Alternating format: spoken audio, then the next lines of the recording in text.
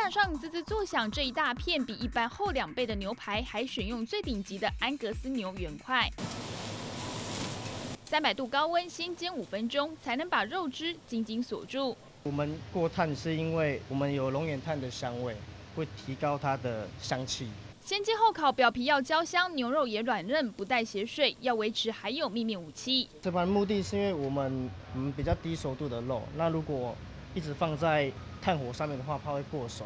每个步骤都不马虎，光是一天就可以卖上百份，让餐厅冲上百万营收。两位吗？里面请哦。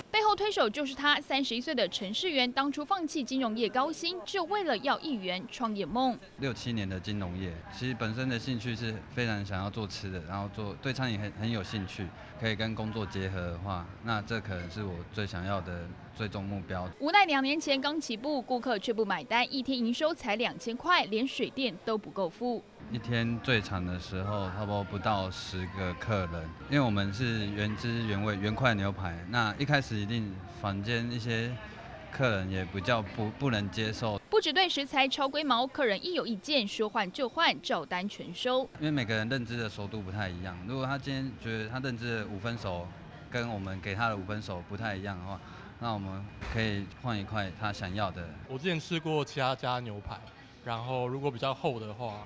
大部分筋都很多，但是他这间吃起来目前都还没有吃到筋。就靠口碑相传，让他从一家店变三家。这一大块香喷喷的牛排，也为他创造不一样的人生。东森财经新闻张家轩、吴佑树台北报道。